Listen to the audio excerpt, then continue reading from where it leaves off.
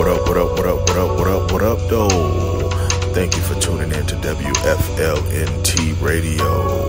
Every morning this time, you can turn your dials to 810.5 for the TAGT show. It's early in the morning.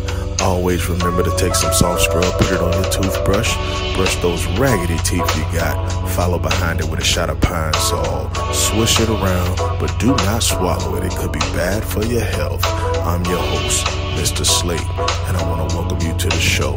Let's get into it. What up, what up, what up, what up, though? It's your boy, Mr. Slate, checking in. It is August 27th, 2020. I'm here in Pennsylvania somewhere. I don't know where I'm headed. I'm on a 34 hour break right now, y'all. I want to welcome y'all to the TAGT show, WFLNT radio channel 810.5, y'all. Thank y'all for tuning in.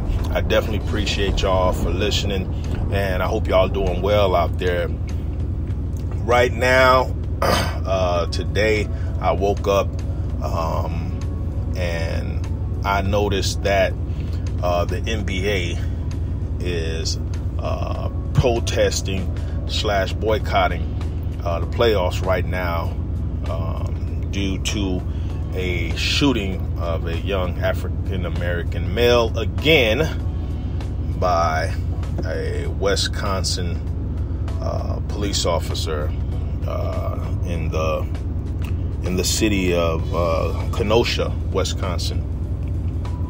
Um, let's get through our introduction and let's get into it, y'all, because this is something that has to be discussed. This is uh, definitely a platform where I like to discuss things of this nature. I try to keep my personal opinions at bay at times, but in situations like this, um, these things need they they need to be spoke on because on, all platforms, if whatever platform you have, and you know if you have Facebook, Twitter, uh, anything, uh, express your frustration uh, in a in a in a in a way that it gets it gets the point across that we're frustrated. We're frustrated, and enough is enough. Enough is enough, y'all. So let's get into it. You can check us out on Apple Podcasts, Spreaker, uh, Spotify, iHeartRadio, Google Podcasts, Castbox, and multiple other podcast platforms. You can contact us. Uh, email Mr. Slate810 at gmail.com. Also, hit the hotline, y'all. Y'all can hit the hotline, leave your name and your location and um, a brief uh, shout out or whatever. Uh, if you have birthday shout outs or anything like that, let me know. That hotline number is 810 553 6592. That's 810 553 6592. Facebook, The TAGT Show. YouTube, TAGT Show. Twitter, at Mr. underscore Slate 810. also, excuse me, hit us on IG, The TAGT Show. Hit your bells, hit your likes, hit your subscription, so all that, y'all. Hit us up. I thank uh, all my listeners out there for staying tuned in. I'm gonna take a sip of water right quick. I thank y'all so much. I really, really do. And by me out here working and rolling and, and doing things, I try to squeeze things in as quickly as I can. Uh, if I see any update, I will definitely do a do a show on this. This is episode 26, if I'm not mistaken. Uh, but it, it, it is hard to do both things at one time and trying to stay up on track. So I definitely appreciate y'all. Y'all make it all worth my while to do this. I definitely thank y'all for appreciating um, just a little bit of work that I put in to make this happen. Who was uh, Jacob S. Blake? He was a 29 year old African American man, uh, uh, resided in Kenosha, Wisconsin. Um, he was shot by a Kenosha, uh, Wisconsin police officer by the name of Rusten Sheskey. That's R U S T E N. Last name is S H E S K E Y.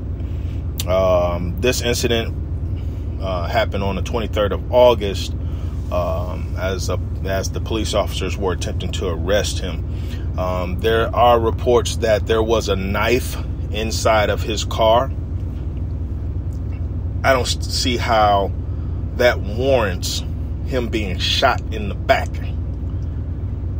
You know, you I don't see I, there had there which we all know that there's some type of fear of black people. I don't know. I, and, and I I go to a checkout at a store sometimes, not all the time, but most of the time, and it the clerk is of European descent, and there's some type of tension, like they're nervous, they're shaky, they're nervous. I'm not aggressive, I'm not anything. I'm just paying for my products and getting ready to leave, but I see this shaking and nervousness like and I think to myself, what's the deal with that, man? And you don't think that transfers over to uh, police officers? It's ridiculous.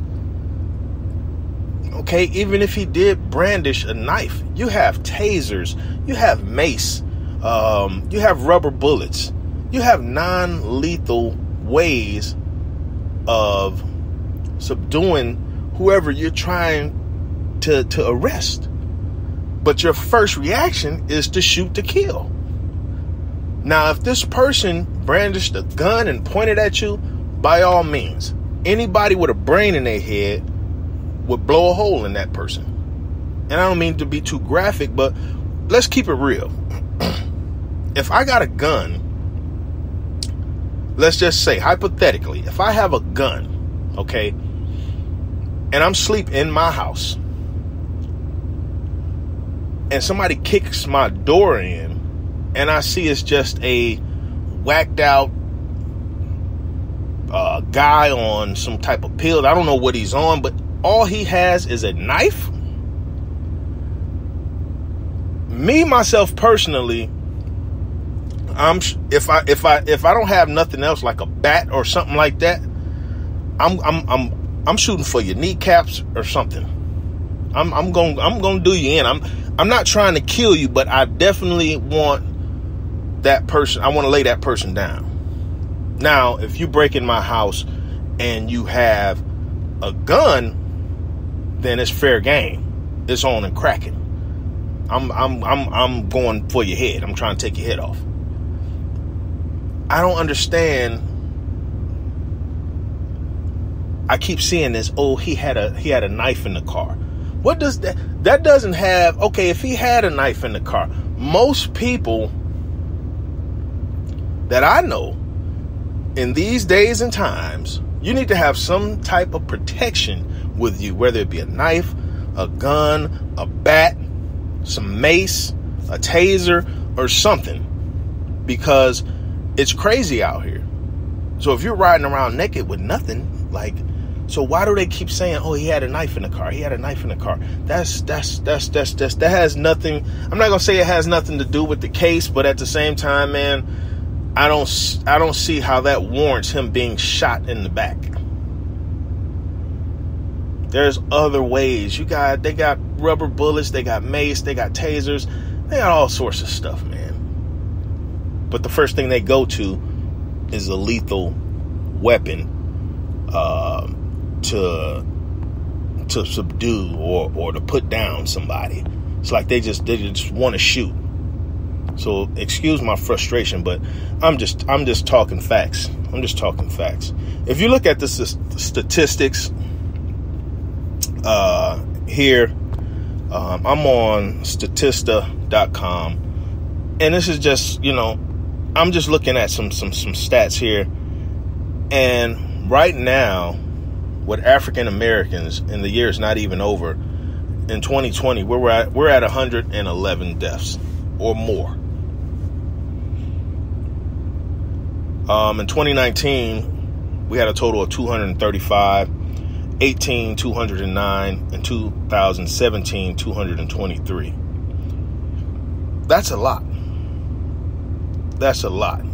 You look at Hispanics, they're at in 2020 71 uh, 2019 total, they had 158.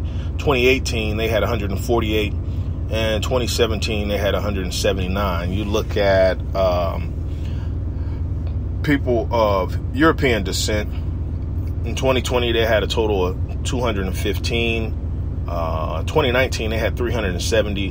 and 2018, 399. and 2017, 457.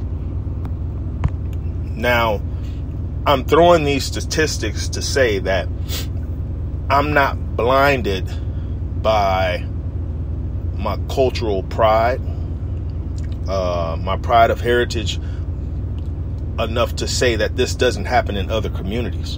And it does. We all know that. But you look at the percentage, let's just say uh, uh, Hispanics